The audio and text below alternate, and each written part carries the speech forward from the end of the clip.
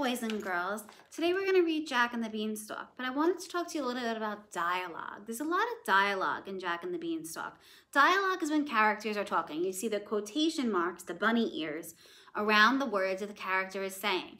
And oftentimes when we're reading out loud, we change our voice a little bit to show that the character is talking. And you're going to see a lot of that in Jack and the Beanstalk. So just pay attention to listen to that dialogue when the characters are actually speaking. This is Jack and the Beanstalk.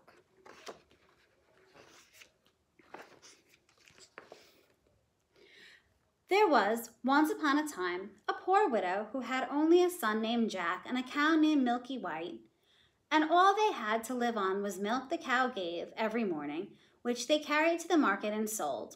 But one morning, Milky White gave no milk, and they didn't know what to do. Cheer up, mother, I'll go somewhere and work, said Jack. We've tried that before, nobody would take you, cried his mother. We must sell Milky White and with the money start a shop or something. On his way back to market, Jack met a funny looking man. Well, good morning, Jack, said he. Good morning to you, said Jack, and wondered how the man knew his name. Can you tell me how many beans make five? said the man. Two in each hand and one in your mouth, said Jack, sharp as a needle. Right, said the man. And as you are such a bright lad, I don't mind doing a swap with you. Your cow for these beans. Go along, said Jack. Ah, but these are magical beans, said the man. If you plant them tonight, by morning they will grow right up to the sky. Really? said Jack. Yes, and if it doesn't turn out to be true, you can have your cow back. Back already, Jack? said his mother. Tell me how much did you get for Milky White? You'll never guess, mother. Could it be five pounds, ten, fifteen? No, she cried. It can't be twenty. I knew you couldn't guess. What do you say to these magical beans? Plant them tonight and what? said Jack's mother. Have you been such a dot to, and such an idiot to give away as Milky White, the best milker in the parish, for a set of paltry beans? Off to bed with you, and as for your precious beans, go throw them out the window. So Jack went upstairs to his little room in the attic, and sad and sorry he was sure to be, as much for his mother's sake as for the loss of his supper. At last he dropped off to sleep. When Jack woke up, he saw the beans had sprung up into a beanstalk that went up and up and up till it reached the sky. So the old man spoke the truth after all. Jack gave a jump onto the beanstalk, and he climbed and he climbed and he climbed and he climbed and he climbed and he climbed till at last he reached the sky. Jack walked along, he walked along, and he walked along till he came to a great big tall house, and on the doorstep was a great big tall woman. Good morning, Mum, said Jack. Could you be so kind as to give me some breakfast? It's breakfast you want, is it? said the big tall woman. It's breakfast you it's breakfast you'll be if you don't move on. My man is an ogre, and if there's nothing he likes better than to boil boys on toast. Oh, please, Mum, Jack cried. I've had nothing to eat since yesterday morning. Really and truly, Mum, I may as well be boiled and die of hunger. Well, the ogre's wife was not half so bad after all. She took Jack into the kitchen and gave him some bread and cheese, when all of a sudden, thump, thump, thump, the whole house began to tremble with the noise of someone coming.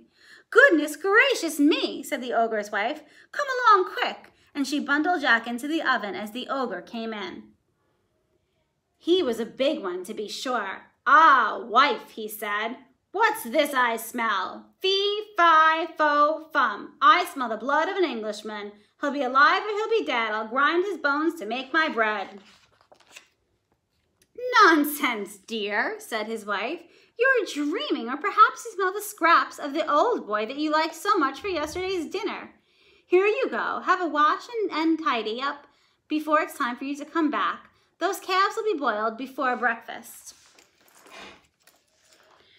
Well, the ogre had his breakfast, and after that he went into the big chest and took a couple of bags of gold, and he sat down and counted. At last his head began to nod, and he began to snore till the whole house shook again. Then Jack crept out of the oven, grabbed a bag of gold, and was off before you could say Jack Robinson. When Jack came to the beanstalk, he threw down the gold, which of course fell into his mother's garden. Then he climbed down. Well, mother, he said, wasn't I right about the beans? They really are magical, you see. So they lived off the bag of gold for some time, but at last they came to the end of it, and Jack made up his mind to try his luck one more time at the top of the beanstalk. One fine morning, he rose up early and jumped onto the beanstalk, and he climbed and he climbed and he climbed and he climbed and he walked and he walked and he walked, till at last he came to the great big tall house that he had seen before.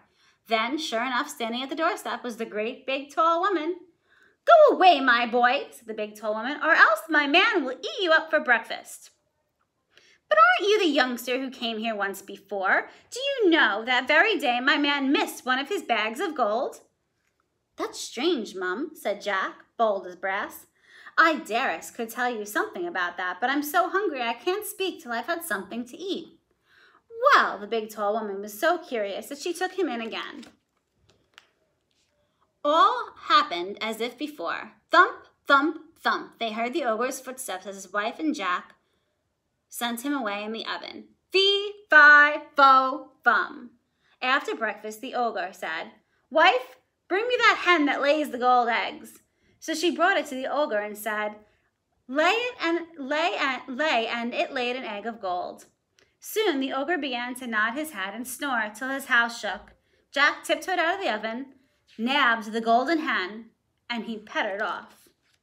But this time, the hen gave a crackle and awoke the ogre just as Jack was about to get out of the house. He heard him roaring, Wife, wife, what have you done with my gold hen? When Jack got home, he showed his mother the wonderful hen and said, Lay to it, and it laid a golden egg every time he said, Lay. Well, it wasn't very long before Jack decided once again to try his luck up at the top of the beanstalk. This time, he knew better than to go straight to the ogre's house. When the big tall woman came out with a pail, he crept into the house and got into the bread box. He hadn't been there long when he heard thump, thump, thump. As before, in came the ogre and his wife. Fee, fi, fo, fum. I smell the blood of an Englishman. I smell him. Wife, I smell him. Do you, my dearie, said the ogre's wife. Well, if it's that little rogue that stole your gold in your hen, then he's sure to have got in the oven. They both rushed to the oven, but Jack wasn't there, and the ogre's wife said, There you are again with your fee-fi-fo-fum. Well, of course it's the boy that you caught last night, and I've just boiled for your breakfast, she said. How forgetful I am, and how careless you are not to know the difference between live and dead after all these years. Well, I could have sworn, muddled the ogre and he searched the ladder and the cupboards and everything. Only luckily, he didn't think to search the bread box. After his breakfast was over, the, older, the ogre called out, Wife, bring me my golden harp. So she brought it, and, she, and he said, Sing! And the golden harp sang most beautifully. And the singing went on and on till the ogre fell asleep and began to snore like thunder.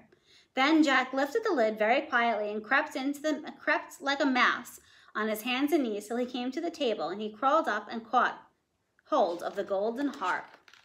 But the harp called out, Master, Master! And the ogre woke up. Jack ran as fast as he could, and the ogre came rushing after.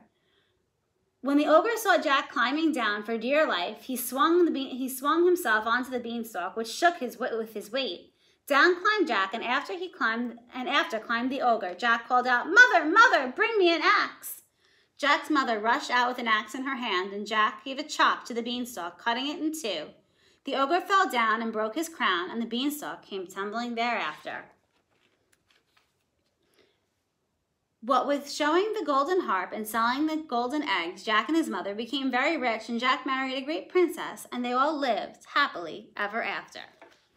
So that was the story of Jack and the Beanstalk, and I hope you heard the dialogue and my voice changed when the ogre spoke and when Jack spoke or his mother. They all sound a little bit different and we change our voices to let the reader know that someone is speaking. And that's dialogue, which are those bunny ears that go around the words. All right, boys and girls, I hope you enjoyed the story.